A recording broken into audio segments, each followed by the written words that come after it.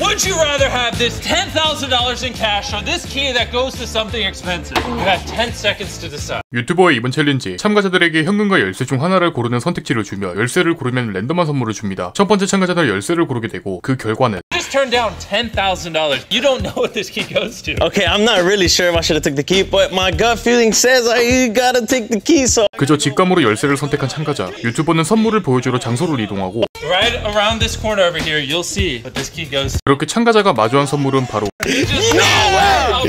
신형 아우디였습니다. 참고로 이 차의 가격은 26,000달러, 한화 약 3,200만 원입니다. 첫 번째 참가자는 현금보다 약 3배에 가까운 선물을 받으며 첫 번째 챌린지가 마무리됩니다. 이어지는 두 번째 챌린지. One of these diamonds is worth $25 and one of these diamonds is worth 6,000. 두 번째 챌린지는 실제 감정사에게 진짜 다이아몬드가 뭔지 맞추는 게임으로 맞추면 현금 1만 달러를 지급합니다. Okay, I have no clue, but because I'm standing right here, I'm gonna pick this one. 겉으로 보기에는 완전히 똑같기 때문에 감정사에게도 꽤나 어려운 난이도입니다. This one looks faker. What does that mean? It looks plastic. My hands are like this. 순간적으로 들었을 때 무게로 판단한 감정사, 플라스틱으로 판단한 보석을 가짜로 판별합니다. Oh gosh, 감정사가 고른 보석은 가짜였습니다. 그렇게 챌린지는 마무리되고 유튜버는 다음 챌린지를 위해 스튜디오로 이동합니다. This side says $0 and this side says $1,000. Give it a flip. 규칙은 간단합니다. 던져서 나온 숫자의 액수대로 돈을 획득하며 0이 나오는 순간 게임이 끝납니다. $1,000 or you can risk it to flip this. This side is $0 and this side is $10,000. 고민 없이 바로 던지는 참가자. And 그는 그렇게 5분도 안 돼서 하나 약 천만 원을 벌었습니다. 당황한 유튜버는 잠시 어디론가 사라지더니 2만 달러가 적힌 캔을 가지고 옵니다. $20,000. But this side still says zero. 참가자는 잠시 고민했지만 이내 바로 던지게 되고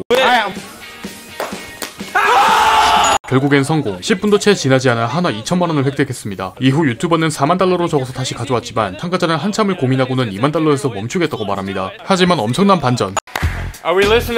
무심코 던진 캔이 4만 달러 방향으로 떨어졌지만 이미 챌린지는 끝났습니다. 이어지는 다음 챌린지. This is Anna, and as high as she counts, I'll give her money. So just count to 10. 이번 챌린지는 안나가 수를 셀 때마다 돈을 주기 때문에 비교적 쉬워 보이지만 당연히 숫자가 높을수록 빡세집니다. So no joke, you can count as high as you want, and every single number you count, I will give you a dollar at the end of it. Okay. The only stipulation is if you skip a number, you go back to zero. Okay. counting 챌린지는 보통 시간이 오래 걸리기 때문에 잠시 다른 챌린지부터 보고 오겠습니다. 유튜버는 다음 챌린지를 위해 10개의 컵과 치즈볼을 준비합니다. 그리고 참가자에게 말하길 테이블에 놓여진 10개의 컵 중 단 한 개의 컵 속에 치즈볼이 들어있으며 이 컵을 맞추면 테슬라를 주겠다고 합니다. 정말 운이 좋게도 한 번에 맞췄습니다. 그렇게 참가자는 약속대로 테슬라를 받게 되는데 여기서 반전은 사실 테슬라는 유튜버의 친구가 쓰던 차를 챌린지 매물로 내놓은 차입니다. I, I kind of want my new Tesla to be black. 이어지는 다음 챌린지. 이번 참가자는 과거 버티기 챌린지에 참가한 적이 있는 카메론입니다. Listen to this sound. Sounds like a car. And listen to sound number two. Also sounds like a car. 유튜버는 이렇게 두 가지의 소리를 들려준 후 어느 소리가 진짜 자동차인지 맞추면 차를 선물로 주겠다고 말합니다. One more time. Ooh, you can hear that shifting in that. Sounds like a fart at first. 카메론은 고민 끝에 1번을 골랐고 이에 유튜버는 실제 소리의 근원지를 보여주겠다고 말합니다. So I want you to show them. Does. Oh my gosh. 알고 보니 1번은 크리스가 뛰어다니면서 악기를 연주하는 소리였고 유튜버는 2번의 근원지인 차를 직접 보여줍니다. You guys might be able to tell by now, I don't handle people losing well. Take over, Carl. 그렇게 카메론은 칼이 운전하는 차를 타며 쓸쓸히 사라졌습니다. 그리고 이어지는 안나의 숫자 카운팅 중간 점검. We have some news we have to break. You have one hour starting now, and then we're gonna come back up and give you whatever you're at. Okay. And you also have to restart. No. Oh my god. From 11 또 한 시간의 마지막 추가 시간을 주고 사라지는 유튜버. 곧바로 다음 챌린지를 진행합니다. Here's how it works, Troy. If you guess the cup with the car key, you win the car. 이번에도 마찬가지로 자동차 챌린지를 진행하는 유튜버. 참고로 참가자는 이전 그네 버티기 챌린지에 참가했던 트로이입니다. 유튜버는 8개 중 2개의 컵에 차 키를 숨겨놓았고 25%의 확률로 트로이가 맞추면 차를 선물로 받습니다. 그리고 유튜버는 밑에서 실시간으로 지켜봅니다. 25% chance. That.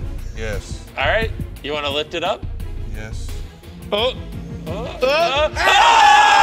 비교적 간단하게 차키를 찾았습니다. 그리고 바로 차를 보여주는 유튜버. 트로이는 차를 몰고 행복하게 집에 갔다고 합니다. 여기에 counting 시간이 거의 마무리되면서 유튜버는 친구들과 함께 이동. Stop your counting. What is your final number? 14,439. 안나는 총 14,439까지 세면서 한화 약 1,800만 원에 달하는 금액을 획득했습니다. 그렇게 안 나는 상금을 획득하고 챌린지는 모두 마무리됩니다. 오늘의 의문, 이 유튜버는 왜 한국에 안 올까요? 지금까지 미스터비스트 컨텐츠 리뷰였습니다.